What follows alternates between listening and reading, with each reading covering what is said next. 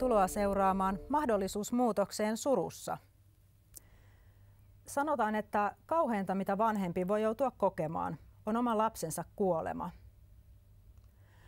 Ulla Tulisalo, sinä olit 41-vuotias, kun joudut kokemaan tämän ja ehkä jotain vieläkin kauheampaa. Menetit hetkessä kaikki kolme lastasi sekä oman aviopuolisosi. Tuosta auto-onnettomuudesta on nyt 24 vuotta aikaa. Vieläkö sä elät tuota hetkeä mielessäsi tai vaikka unissasi? No kyllä, kun mä nykyisestä kodista lähden, niin sitten on vähän etäämpänä ja joku tämmöinen, niin kuin nyt on lähellä vuosipäivä, niin tuota, kyllähän ne jostain nousee sitten äkkiä ne surunkin aallot vieläkin. Ei se koskaan poistu. Hmm vaikka onhan se nyt pääasiassa pois mielestä. Sun puolisosi Matti oli sun suuri rakkautesi. Missä ja milloin, miten te tutustuitte? No mä tulin opiskelemaan lääkäriksi tuonne Tampereelle ja siinä menin asumaan opiskelijakotiin, jossa ensimmäisenä päivänä, eli mä tulin vähän ajoissa lauantaina, istuttiin siellä opiskelijakodin pöydän ääressä, niin Matti tuli sinne tuomaan, että tarvitaanko täällä mattoja. Hänellä oli äitinsä tekemiä mattoja ja se oli minun puolelta ainakin semmoista ihastusta heti.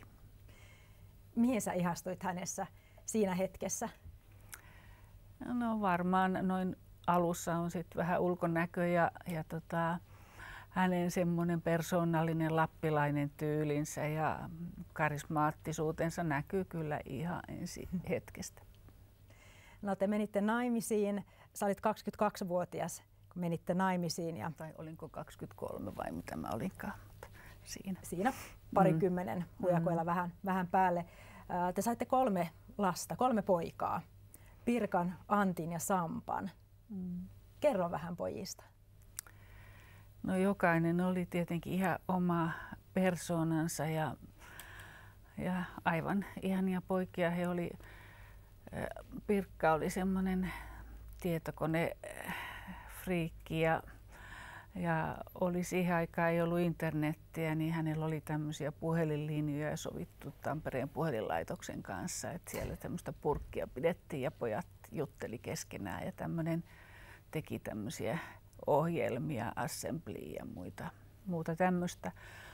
Antti oli no, ulkoisesti jo tosi komea 13-vuotias äh, vaalea huippi, joka oli kunnianhimoinen ja oli päättänyt tulla professoriksi. Ja luokkakaverit sanoikin, että Antista olisi tullut jotain sen onnettomuuden jälkeen. Mm. Ja Samppa oli taas tota, oli kahdeksanvuotias ja sitten aina mua hämmästytti semmoisella itsenäisyydellä, että hän tuli yhtenä päivänä koulusta ja kertoi, että hän aikoo tokaluokkalaisena siis, hän aikoo vaihtaa koulua, että hän lähteekin Ranskaa lukemaan Tampereen keskustan kouluun, että ei hän jatka tuolla Raholan koulussa. Hmm. Ulla Tulisalo, sä olet psykiatri ja psykoterapeutti. Sä työssäsi kohtaat paljon ihmisiä, jotka käsittelee vaikeita ja kipeitä asioita, kuolemaa ja menetyksiä ja, ja kaikenlaisia muita pelkoja. Mikä on ollut sun suurin pelkosi? No, sitä on tietenkin nyt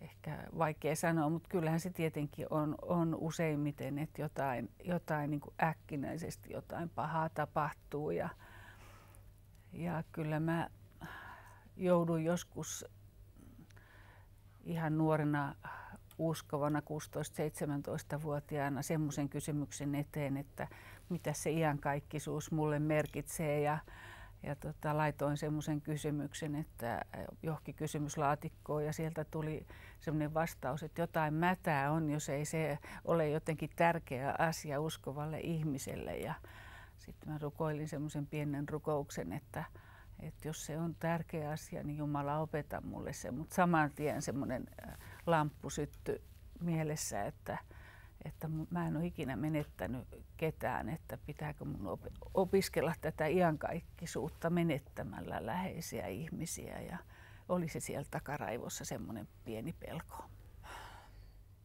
Ja sitten tämä maailman isoin menetys tapahtui 26. helmikuuta 1994. Ulla, kerro, mitä tuona päivänä tapahtui? Tota, me oltiin viikkoa aikaisemmin tultu San Diegosta lääketieteellisestä konferenssista mun miehen kanssa ja lapset oli ollut mummo ja, mummi ja ukin hoidossa.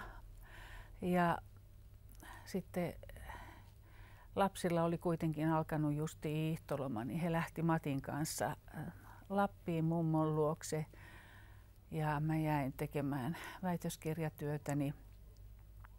No he olivat tulossa sitten sieltä Lapista jo takaisinpäin.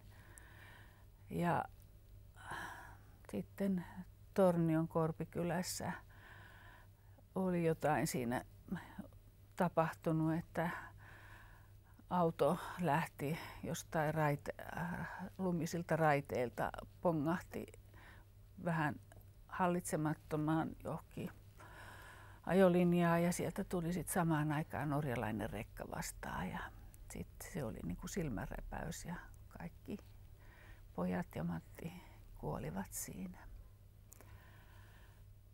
Semmonen, se oli, kyllä he oli soittanut mulle pellosta ja Matti muistutteli, että lähde, lähde tota konserttiin, kun hänellä oli kausilippu, että hänen tilaltaan. Ja ne oli ne viimeiset yhteydenotot. Ja sitten se kuolemanportti heille aukeni. Mm. Miten sä sait tiedon tästä onnettomuudesta? No, tota, mä olin konsertissa silloin, se oli perjantai-ilta ja, ja tuota, en saanut mitään tietää sinä iltana vielä, vaan tota, ystävällisesti viranomaiset jätti sen tiedon sitten seuraavaan aamun, jolloin kaksi poliisia tuli sitten mun luokse mm. kertomaan asiasta. Ja siinä jouduin niin kuin seisos, seisomaan meidän eteisessä ja kuuntelemaan tämän mm. viestin. Mikä oli sun ensimmäinen reaktio? No, sen mä muistan, että mä sanoin vaan, että, että kyllä mä pärjään, menkää, menkää vaan, että oli niin kuin halus olla yksin siinä, että ei mm. ole vieraat ihmiset katsomassa. Mm. Kun poliisit kysyivät, että haluatko, että he mm. jää, mm. jää mun kanssa tuleeko siinä joku semmoinen niin kuin kauhea tunnereaktio vai, vai tuleeko semmoinen, niin kuin, että yhtäkkiä että ei tunne mitään? No ehkä enemmänkin, että, että on vaan se niin kuin kurkkua kuristaa ja, ja, ja semmoinen ajatus oli kyllä, että nyt meni koko elämä uusiksi. Joo. Sä oot Ulla Tulisalo ollut koko elämäsi ajan kuitenkin kristitty ja sä oot uskonut hyvään ja kaikkivaltiaseen Jumalaan horjuko sun usko tässä koettelemuksessa ja tässä kauheassa kokemuksessa? Se oli mun semmoinen, semmoinen mistä mä saatoin jotain niin kuin, äh, semmoista pohjaa elämälleni saada ja, ja sitten se, ne vähän ennen tapahtuneet asiat niin kuin mua vakuutti siitä, että, että tämä on ihan tarkasti Jumalan suunnitelmissa tämä asia ja hän tietää sen asian, että esimerkiksi tämmöinen, että meillä oli semmoinen pari-kolme vuotta aiemmin ollut semmoinen aviokriisi Matin kanssa. Ja siinä mä olin joutunut käymään läpi, että mitäs jos me ajaudutaan eroon tai muuta, että miten mä pärjäisin. Että oli joutunut käymään tämmöisiä, että ei se ollut niin kuin ihan, ihan semmoinen ajatus, että en, en koskaan joutuisi olemaan yksin ja menettäisin sen mm. läheisen ihmisen siinä. Että monia muitakin asioita siinä tapahtui ja olin ihan peräti joskus käynyt tämmöisen mahdollisuuden läpi, että ne ajaa kolarin, koska tota, ne oli, olivat tota, Matti ja pojat ollut ennenkin siellä mummolassa porukassa ja olivat tulleet sieltä sitten liian taikka niin paljon myöhemmin kuin mitä oli sovittu, että mun nämä ajatukset, mä olin käynyt kokonaan tämän oman reaktion ja kaikki nämä niin kuin läpi, että ne oli niin kuin filminauhalta vähän sen toistoa, mitä, mitä minä olin silloin mm. muutama vuosi aikaisemmin käynyt läpi.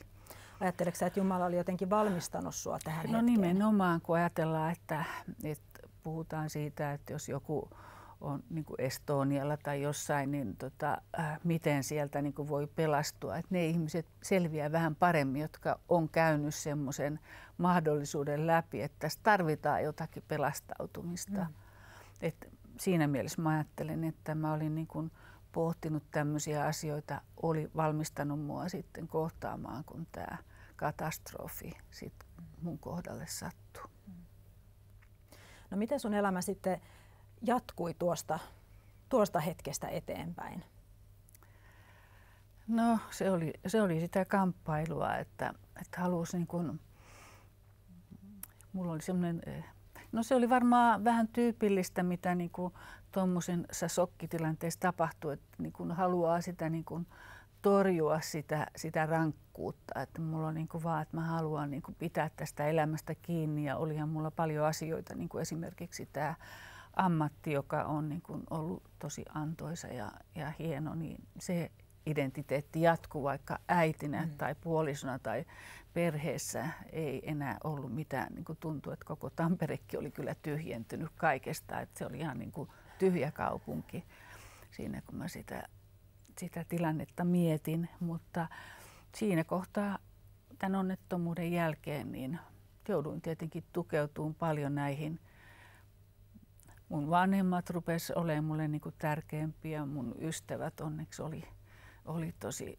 tosi ihania ja myös monet tuntemattomat ihmiset, jotka sai kuulla tästä. Mä sain paljon kirjeitä ja kortteja ja jotkut omat ystävät muisti niin kuin ihan melkein viikoittain korteilla. Ja et, et, mä tartuin siihen omaan elämään ja toisaalta yritin vähän niin kuin työntää syrjään tätä. Ostin punaiset, punaisen hameen kesämekon sitten siinä, vaikka koko kesä tuntui ihan mielettömältä, että miten voi luonto lähteä niin kuin kasvamaan. Ja näitä mun omia lapsia ei ole tässä, hmm.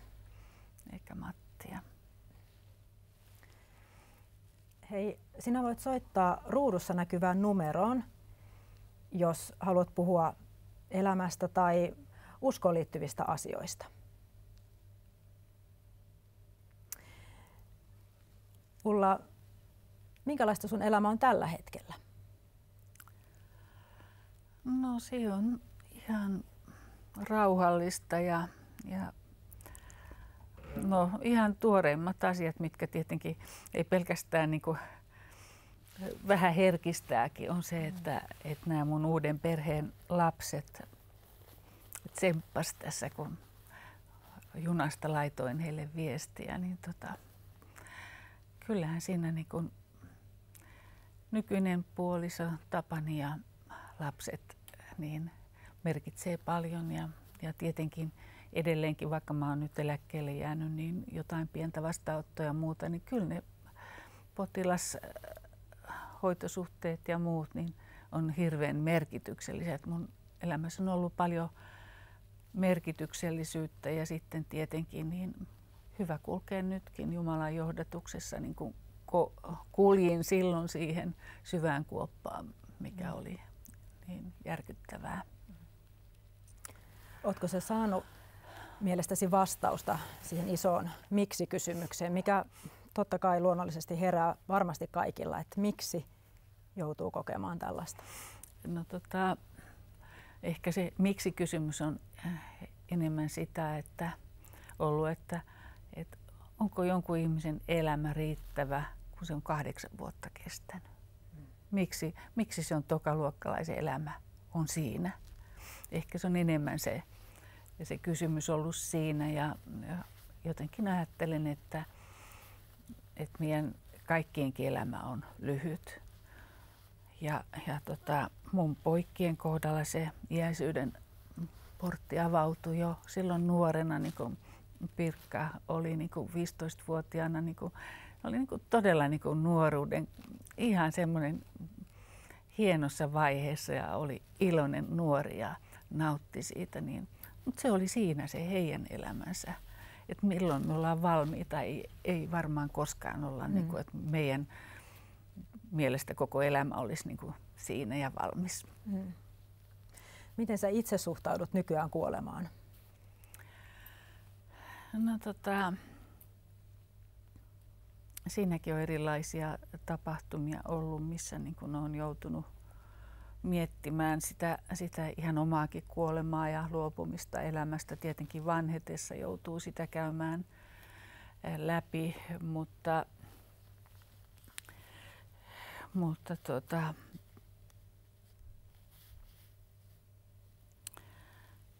kuolemaan sinänsä, niin ei se, se ei tunnu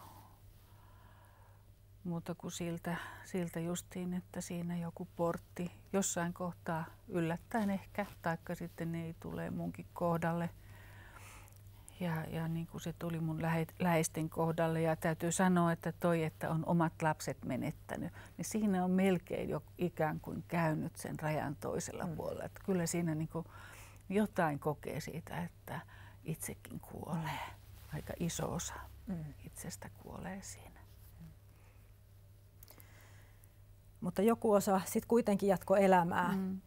täällä maan päällä ja, ja sulla on nyt uusi perhe ja oot saanut jatkaa sitä sun työtäsi. Minkälaisista asioista sä olet tänä päivänä kiitollinen ja kiität Jumalaa?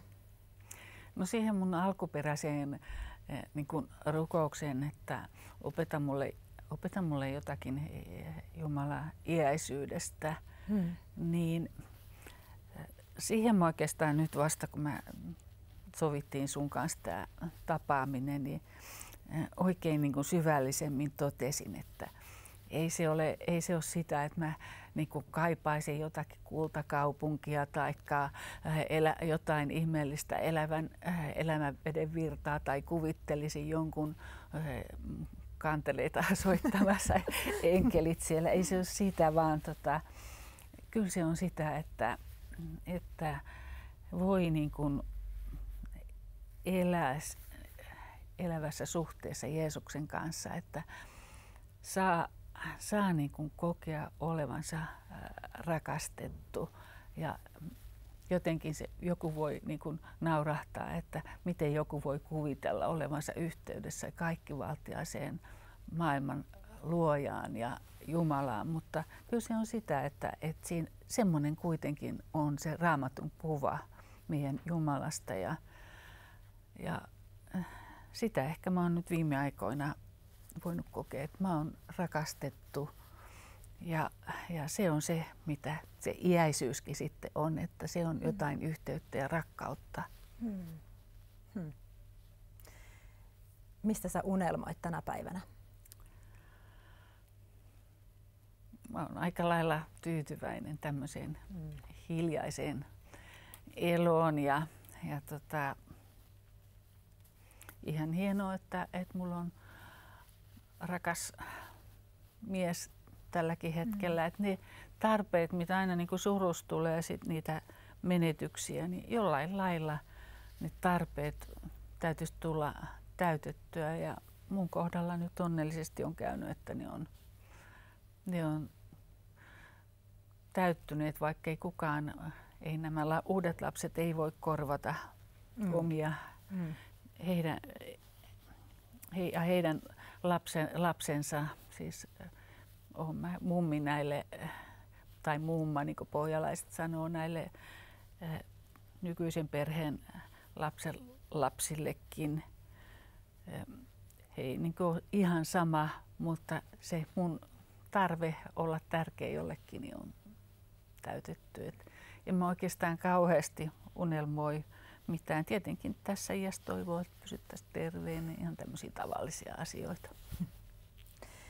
Ulla Tulisalo, mitä Jeesuksen ylösnousemus merkitsee sulle nyt tänä päivänä?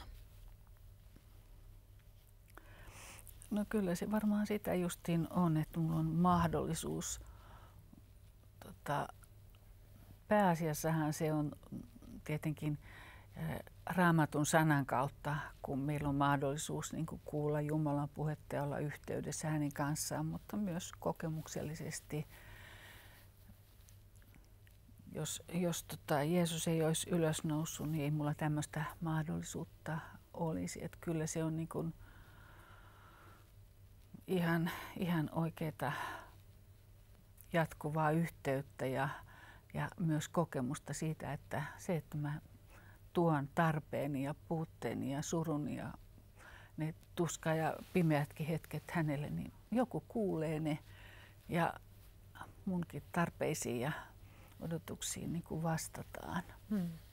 Mitä sä oot näiden 24 vuoden aikana oppinut Jumalasta ja elämästä? No 24 ja vähän pitemmänkin ajan kuluessa, niin tota,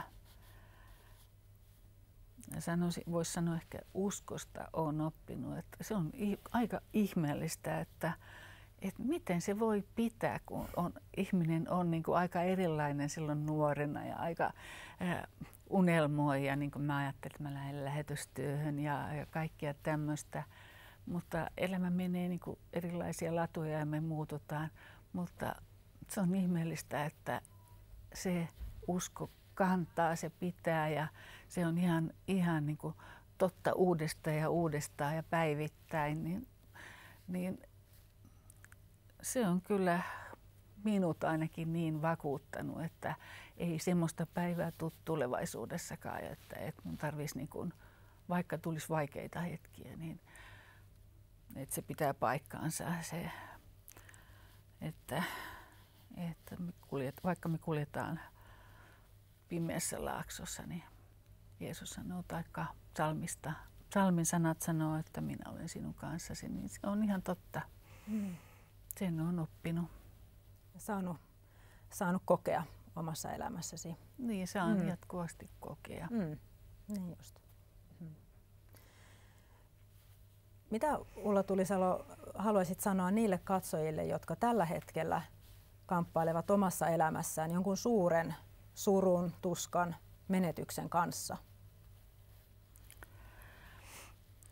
Meidän äh, suruthan on, on kaikki, on hirve, siis vaikka niissä on niinku semmoisia yhteisiä piirteitä ja puhutaan suruvaiheesta, niin jokaisen ihmisen suru on kuitenkin ihan ainutlaatuinen.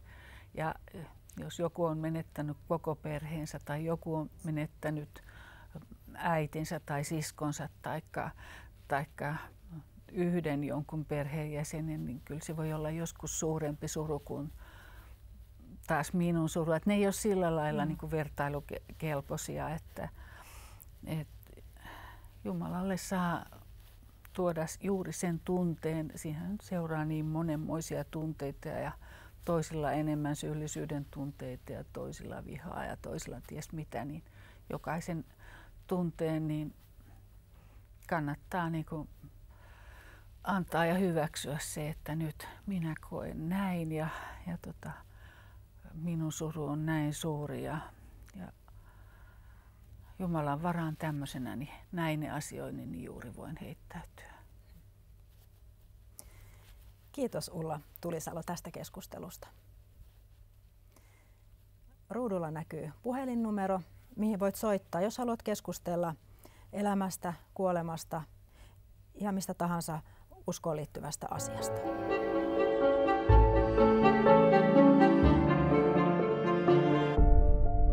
Seuraavaksi Nina Oström ja laulu sinulle.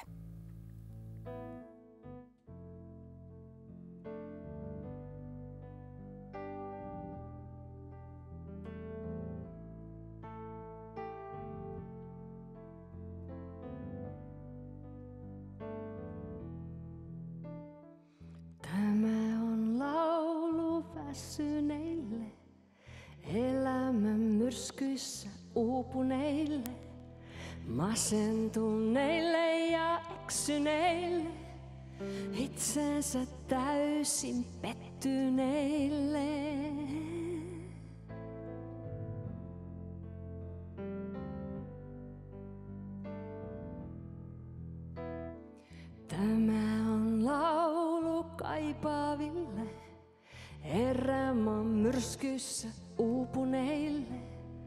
Valoa hiljaa nyt kaipaaville, tänään soi sävel myös sinulle. Jumala rakastaa sinua, elämän kolima yksinäistä. Golgatan kummulta kuulla nyt saat sinua, sinua rakastetaan.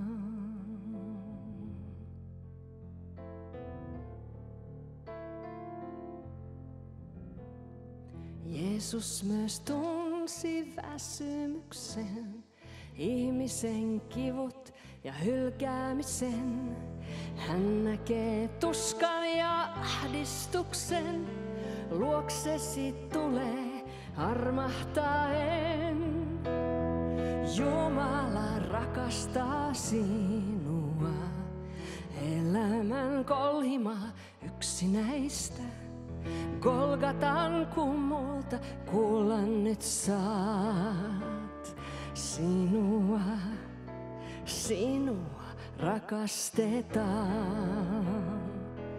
Mm, elämän kolhima yksinäistä. Golgatan kummulta kuulla nyt saat sinua, sinua rakastetaan.